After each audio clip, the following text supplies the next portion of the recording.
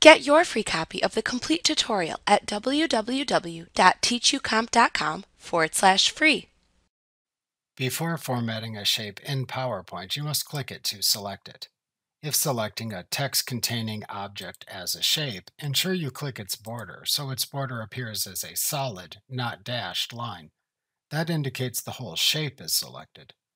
After selecting the shape, the Shape Format Contextual tab then appears in the ribbon.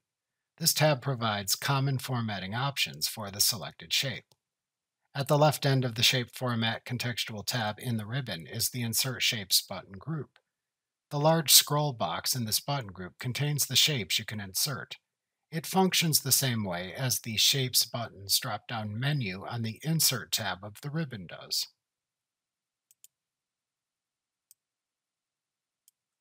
To the right of that are the Edit Shape, Text Box, and Merge Shapes buttons. To replace the selected shape with another shape, click the Edit Shape drop-down button, roll over the Change Shape command in the drop-down menu, and then select the new shape from the side menu that appears. To edit the contours of a selected shape, click the Edit Shape button. Then select the Edit Points command from its drop-down menu to show the editing points of the selected shape. Then click and drag these points to change the contours of the selected shape.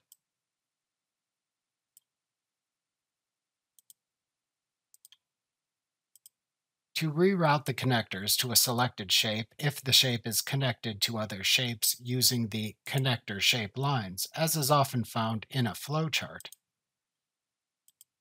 click the Edit Shape button. Then select the Reroute Connectors command from its drop-down menu to reset the connectors to the selected shape. To draw a text box that is not associated with placeholder text in a slide, click the Draw Text Box button. This button works the same way as clicking the text box button in the text button group on the Insert tab of the ribbon, as previously shown in the lesson titled Adding Text to Slides. To apply a preset shape style to a selected shape, scroll through the choices shown in the large scroll box of Preset Shape Styles in the Shape Styles button group on the Shape Format Contextual tab in the ribbon. Then click one you like to apply it to the shape. To apply a custom fill to a selected shape, click the Shape Fill drop-down button. This button lets you fill the inside of a selected shape with a color, picture, gradient, or texture. However, this button is unavailable for shapes without fillable area like lines and arrows. To select a fill color, click a color choice in the Shape Fill buttons drop-down menu. To select a custom color, instead select the More Fill Colors command in the drop-down menu to open the Colors dialog box. To then select a custom color in the Colors dialog box, either click the Standard tab and then select one of the colors in the honeycomb of color choices, or click the Custom tab to select a color from the rainbow gradient, and then use the slider to the right to change its darkness or lightness. At the bottom of both tabs, you can use the Transparency slider to set the level of color transparency. To apply a selected color, if you open the Colors dialog box, click the OK button. To remove a fill effect from a shape, select the No Fill command from the Shape Fill buttons drop-down menu.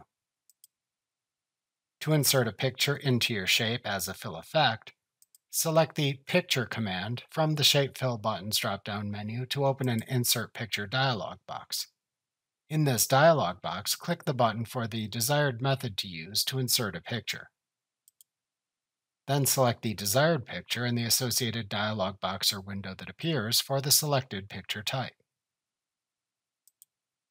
After selecting the picture to use, click the Insert button in the dialog box or window to apply your picture as the background fill. To apply a gradient fill to the selected shape, roll your mouse pointer over the Gradient command in the Shape Fill button's drop-down menu. Then click the preset gradient to apply to the shape from the side menu of choices. To add a texture to the shape, roll over the Texture command in the Shape Fill button's drop-down menu. Then click the texture to apply from the side menu of choices.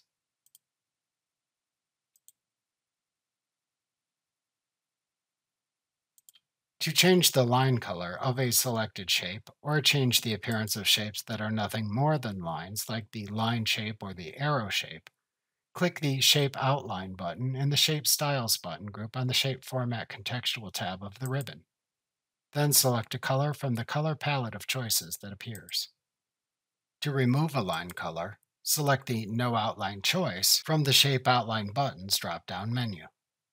To change the width of the shape's outline, roll over the Weight command in the Shape Outline buttons drop-down menu.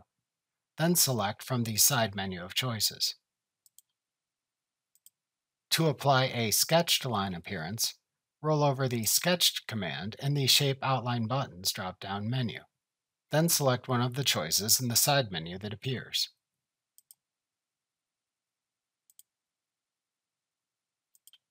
To choose a different dash style, roll over the Dashes command in the Shape Outline buttons drop-down menu.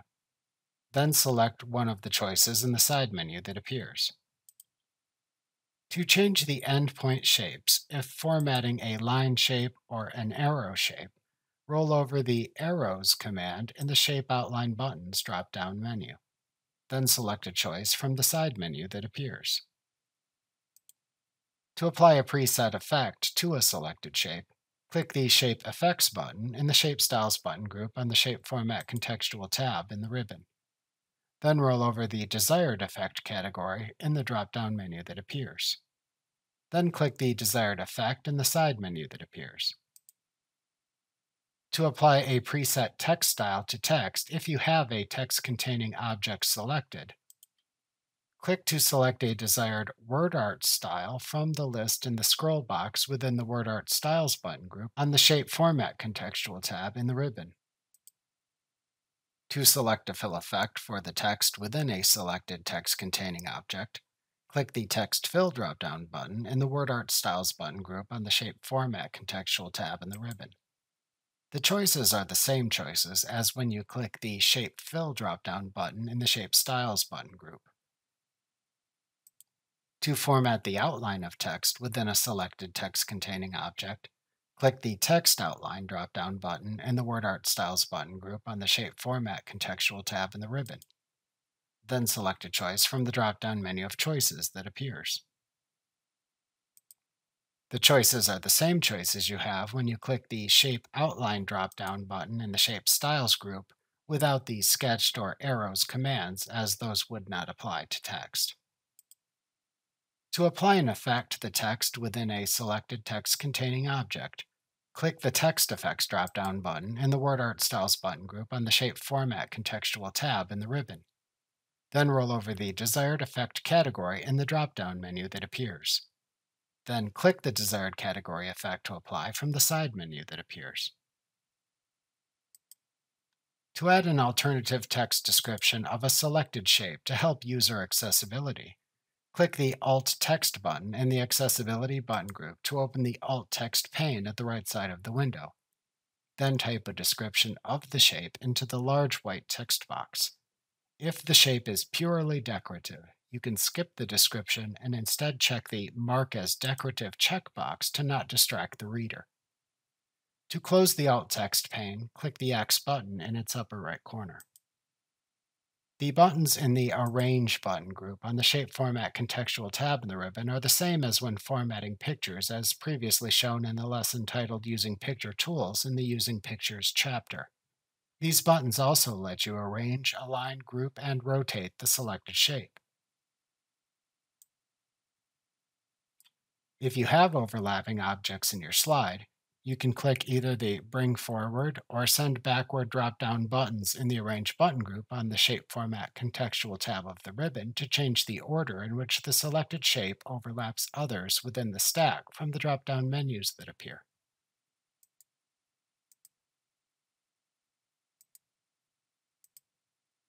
To show or hide the selection pane in PowerPoint, click the Selection Pane button in the Arrange button group on the Shape Format Contextual tab of the ribbon. This pane shows selectable objects within a document. You can click the Align button in the Arrange button group on the Shape Format Contextual tab in the ribbon to choose from one of the available alignment options. To group together multiple shapes simultaneously selected in your slide, click the Group button in the Arrange button group on the Shape Format Contextual tab in the ribbon. Then choose the Group command from the drop-down menu that appears to group the individual shapes together as a single unit. To ungroup a selected grouped object, click the same Group drop-down button and then select the Ungroup command from the drop-down menu.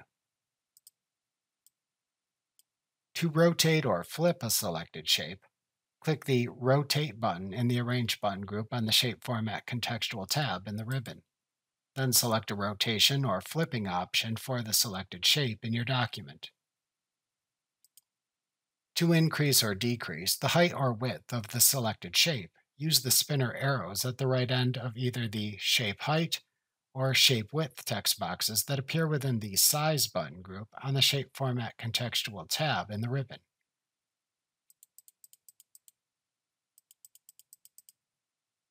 Like what you see? Pick up your free copy of the complete tutorial at www.teachucomp.com forward slash free.